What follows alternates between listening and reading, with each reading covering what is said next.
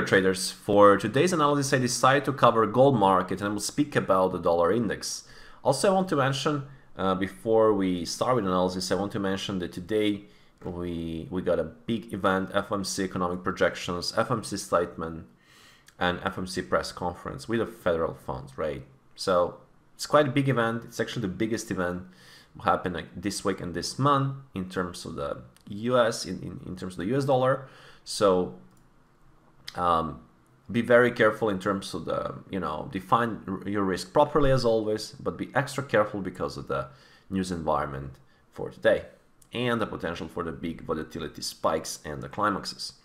So far, um, I want to start with the gold gold isn't basically on decision point. If you check the daily time frame on the gold I guess the the level at uh, 1782 is a quite critical pivot resistance uh, because we got a cluster of cluster of previous swing lows at that stage and the medium uh, mid Keltner line there. Yesterday the price looked at that area and rejected back. Today we see the very very sideways, very very light in uh, volume environment, uh, which is very normal because we do expect that um, the news uh, in just about six seven hours from now. So uh, I guess as long this resistance uh, can hold at 1781, I see more more room for the downside. If you check the current price section for the current day, there is a one failed test of the high. So if you check, there was a rally here this uh, yesterday. There was a pullback this morning that buyers actually tried to rebuy, but they failed, and we got a basically some close price reversals. We failed to test that high at 1781. So my advice here will be to watch the sell on the rallies, you know, and try to see if we can test 1772 and definitely this area around 1767. And that will be one play. We also got a bear divergence on stochastic.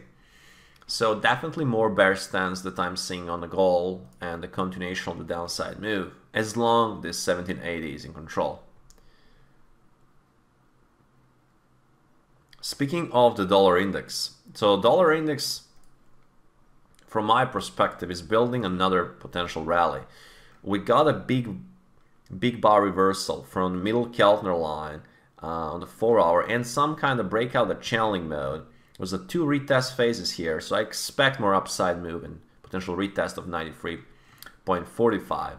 If we even break that, then the next level will be around 93.70. So I see more strength in US dollar overall. So we'll see during the FOMC, and we will I'll update tomorrow after the FOMC. So that will be all for today.